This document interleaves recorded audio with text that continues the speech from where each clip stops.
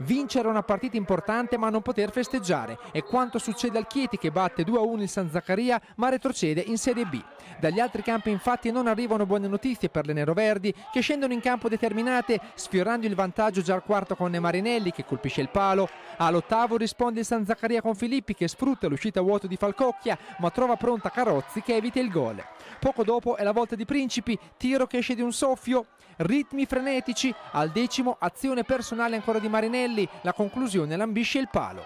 Il risultato si sblocca al sedicesimo, cross di Pier, Razzolini gira la sfera alle spalle del portiere per il vantaggio ospite. Il Chieti spinge per pervenire al pareggio ma non trova la giocata vincente. Sul fronte opposto il San Zacca sfiora il bis al 42esimo ancora con Razzolini. La sua girata si stampa contro la traversa. In avvio di ripresa altra chance per le biancorosse con Barbaresi, provvidenziale l'intervento di un difensore che devia in angolo. Al cinquantesimo strepitosa Tampieri che prima chiude la porta a Tona, poi si supera sulle tapin di Giulia Di Camillo. Si passa da una porta all'altra, al 52esimo Principi si divora la rete della sicurezza calciando alto, il Chieti alza il baricentro ed al 71esimo va ad un passo dall'1-1 con Ineruber che colpisce la traversa, al 77esimo il pareggio, Tona si coordina bene e trafigge Tampieri. Le due squadre vogliono vincerla, all'80esimo il San Zaccaria spreca un'altra ghiotta occasione con Razzolini che invece di tirare serve Casadio ma Falcocchia è strepitosa. Il giovane portiere neroverde si ripete all'88esimo sulla bordata da fuori area di Barbaresi.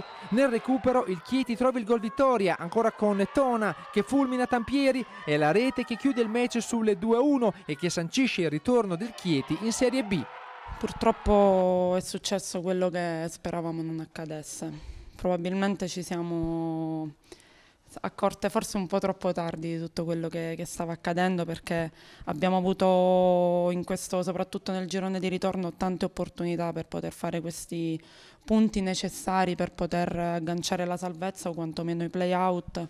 È andata così, però come, come ho già detto a Chieti siamo già pronti per, per poter ripartire perché questa è una piazza che, che, merita di stare in alto e quindi grazie comunque a tutte le persone che ci sono state accanto, anche se comunque va detto che qualcuno un po' solo ci ha lasciate, però fa parte anche del gioco.